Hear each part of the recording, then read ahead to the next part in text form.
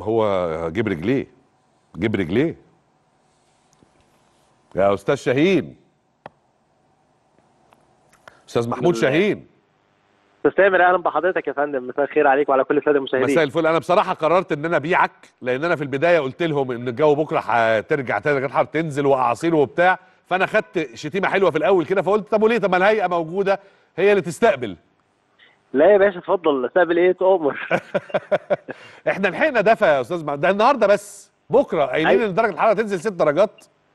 لا مش ست درجات. إحنا كام؟ النهارده طبعا زي ما قلنا النهارده الحرارة من 23 ل 24 آه. وده الحمد لله حصل فعلا. تمام. وإحنا قلنا برضو إنه ارتفاع مؤقت. تمام. لأن قلنا اعتبارا من يوم الخميس هتعود درجات الحرارة إلى المعدلات. يعني بكرة من تراوح العظمى من 19 ل 20 درجة مئوية. يعني حوالي أربع درجات من ثلاث لأربع درجات انخفاض. خلال ساعات النهار عن النهارده. طيب انخفاض بس ولا كمان عدم استقرار؟ طبعا يعني وارد طبعا حدوث حالة عدم استقرار خلال ال 72 ساعة اللي جايين. آه سواء كان نشاط رياح في بعض الأوقات فرص سقوط أمطار خفيفة زي اللي إحنا شفناها النهارده متوقعة بكرة برضو على القاهرة. تمام. آه لكن طبعا يوم ال- الجمعة والسبت بت- بتزيد فرص سقوط الأمطار وتزداد آه نقول كميات الأمطار. يعني لو قلنا خفيفة النهارده وبكرة فبتكون متوسطة الشدة يوم الجمعة والسبت.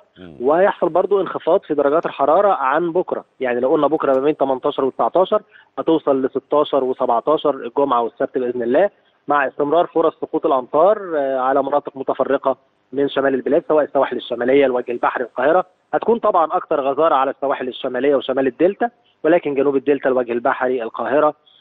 محافظ بعض محافظات شمال الصعيد زي بني سويف وأسيوط. يعني بني سويف كده المناطق الشمالية من شمال الصعيد. تمام. دي ممكن تكون تشهد امطار خفيفة والى متوسطة الشدة. بارك الله يعني فيك. الاجواء متقلبة ده طبيعي طبعا يا أستاذ في آه، بالنسبة طبيعي. لهذا التوقيت من العام. إحنا مش... الحمد لله حاجات آه، المشكلة بس إن المؤقت ده ما, ما طولش معانا النهارده بس 24 ساعة. وهنرجع بكرة لعدم الاستقرار لكن أدي الله ودي حكمته. معلش بس طبعا هي تعتبر آه، آه، انخفاض درجات الحرارة مش بنفس انخفاض الحالة اللي فاتت. مفهوم. لأن الحالة اللي فاتت لا لا الحالة اللي فاتت لو رجعت تاني إحنا هنهاجر. لا ما فيهاش هزار دي. موضوع منتهي. لا إن شاء الله ربنا يسلم بشكرك شكرا جزيلا شكرا. جزيلا يا أستاذ. محمود. آه، الهيئة الأرصاد طول الوقت طبعا إحنا بنهزر معاها وبندعمها لكن هم ما بيقولوش غير اللي هم بيشوفوه وبيتوقعوه بناء على القراءات العلمية اللي عندهم والمؤشرات. ونتمنى إن شاء الله الجو يستقر في أقرب وقت ممكن. طيب. تعالوا نروح إلى برنيس قاعدة برنيس العسكرية اللي تم افتتاحها النهارده من قبل الرئيس عبد الفتاح السيسي رئيس الجمهورية والقائد الأعلى للقوات المسلحة.